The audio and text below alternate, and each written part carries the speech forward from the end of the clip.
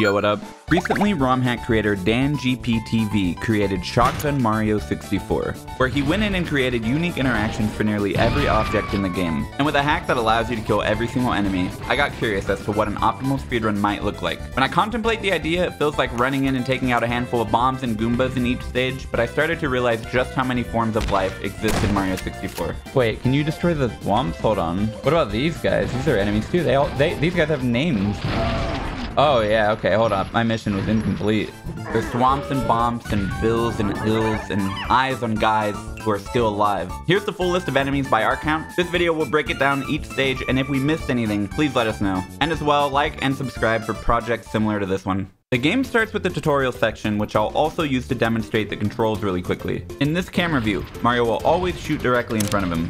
The reticle view allows you to aim independently of Mario, and if you're in the air at all, Mario will always shoot directly below, which gains you some height as well. But far after learning how to do the intro quickly, it came to my attention that you could actually skip the intro. This route will be collecting 15 stars for two reasons. Big Boo's Haunt unlocks at 12, and Mips appears at 15. The first stage is BOB. This level is unique in this run because you have to visit this stage three times. The only enemy I go for on the first visit is the Bomb King. But it's the second visit where the routing gets a bit more complex. You cannot kill this guy. This is kind of cool with the Koopa race going on at the same time. Damn, you suck.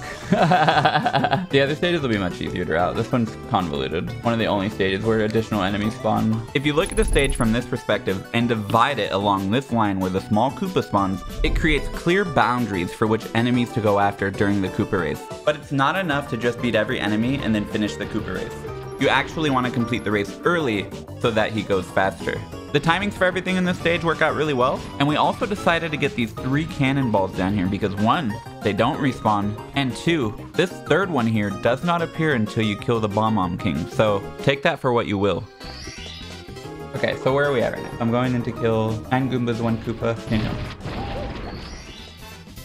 the next stage is Thwomp's Fortress. This is a stage that I think has a lot of potential in a run. I think my routing here could use a bit of improvement. Four shots per Thwomp takes some time, and I chose to wait.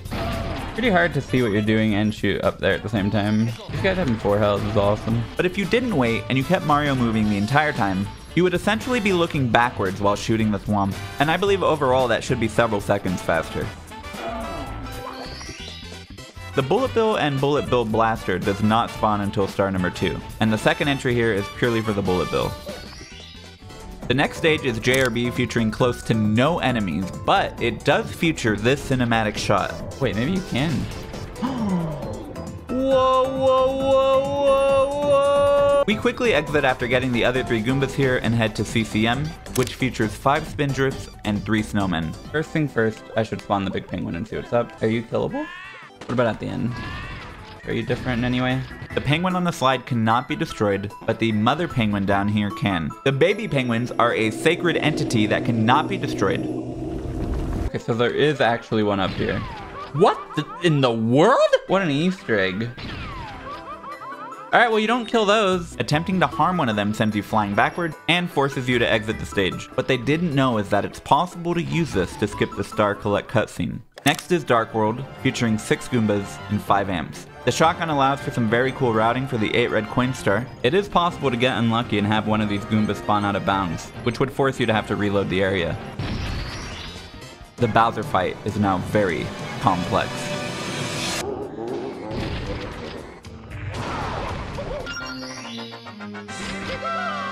The Vanish Cap stage is next, and it features 8 Flame Chomps and 1 amp. These Flame Chomp guys are littered in the most random places of this game. And the Vanish Cap here is collected for the Mr. Eye behind the fake wall in BBH. Up next is Shifting Sandland. I found out that if you held a specific up left angle when entering the stage and use the non-reticle cam, you will always get the Shy Guy and the Crazy Box at the beginning. The stage is gonna suck. This is my favorite stage of the run, featuring a massive list of enemies and a boss. True. You're right. I died up there. Dude, this level is easy as hell. You just run through and shotgun him and everything. Keeping Mario moving at all times while shooting things is extremely fun. The inside of the pyramid features some enemies you'll never see again, but they're extremely unique. This guy is a Grindel, who takes 4 shots to destroy. And this guy is a Spindel, who takes 4 hits to own as well. These two have never been destroyable before. The hand boss, in my opinion, is usually pretty boring. So the one hit kills here are a massive quality of life upgrade. Lethal Lava Land contains 12 bullies, 2 eyes, and a box. Oh, hell yeah. Two of the bullies are in the volcano, and the stage is pretty straightforward. Hazy Maze Cave is a difficult level to do well. It is not possible to kill Dorrie as that would betray the peace treaty. Making this noise. Dorrie is friend. Oh, that's actually wholesome as hell. It won't let you shoot Dorrie. But it is possible to fully get rid of the Monty Mole. These moles are permanently killable. That's not normal. Okay, that just made TTM harder as well. Wait, is this mole dead too? Oh my god, it's the same Monty mole that goes into between the holes. That, that's lore, dude. Outside of that, this stage contains 11 bats, 6 scuttlebugs, 4 snufits, 2 flame chomps, and a pair of eyes. And of course, the stage connects to the metal cap, which has a few enemies as well. This toad only appears after 12 stars have been collected, so we quickscope him and head over to Big Boo's Haunt, which is my second favorite stage, feeling very similar to Doom or Duke Nukem. Stage requires two visits, as the five ghosts on the bottom only appear during star number two. Dude, this is what aim aimbotters look like in Counter-Strike. This is so funny. And the piano that scared you as a kid is killable in this. Oh, the piano. Okay, well that's on the list. As well as the coffins. I've decided that the coffins are in fact enemies because they do show aggression towards Mario. And the second visit to the stage is very straightforward. And this courtyard area contains the rest of the enemies in the castle, except for one, Mips. He doesn't appear until 15 stars have been collected. He's pretty much the only reason we collect any stars during this run. I've had dreams that feel like this. DDD contains two sharks, two fish, and a flame chomp. Dude, people are gonna appreciate that I remembered to kill that guy. I, they actually really will. It is not possible to kill the Manta Ray. Really? Alright, fair enough. Nothing too special about this level. Fire Sea remains linear but still contains 11 enemies on the way to Bowser. This Bowser fight is, again, insanely complex.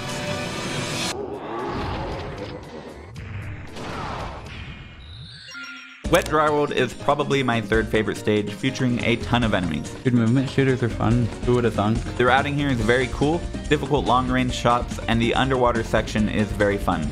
There's not much going on with the other water stages, but this one allows you to properly aim and swim. Up next is Tiny Huge Island. Look at this massive enemy list. Nintendo really started putting these everywhere in the later levels, huh? It is not possible to kill the Koopa here. Knocking him out of bounds will only make him more determined, as he'll eventually find his way to the goal. This stage is very fun and very intimidating. The small island section is cramped with 17 enemies. It's extremely chaotic, and this one also ends with a boss fight. Uh, wait, wait what are your thoughts on this? Up next is TTM, which does not differ that much from running up the stage linear. That's unbelievable. It contains 23 enemies. It's pretty straightforward. And we run a second quick revisit for the other monkey. Snowman's Land is awesome, the only level featuring a shell to be used for this. It is also possible to kill the penguin at the top of this stage. The entire stage can be completed in about a minute. Up next is Tick-Tock Clock, which is pretty similar to running up the stage normally. There's only 8 enemies here. However, nearly every single mechanical part here is destructible. Whoa, that is really cool. That is so done well. Way too cool. Just a very cool part of the hack. Rainbow Ride is a very fun one. The shotgun completely breaks the stage. Only 13 enemies for this one. Oh my god, I have the coolest route idea ever. Let me see if you can get the check here without having to open the cannon though. No way. Okay, the route's pretty fire, I think. I couldn't find a way to skip the cannon, but it might be possible. Regardless, this is the coolest cannon shot of all time. As Mario's journey comes to an end, the lives he took weigh on him greater than anything. Mario reflects on the time he turned the Mushroom Kingdom into the Mushroom Cloud. He faces one final, extremely technical boss.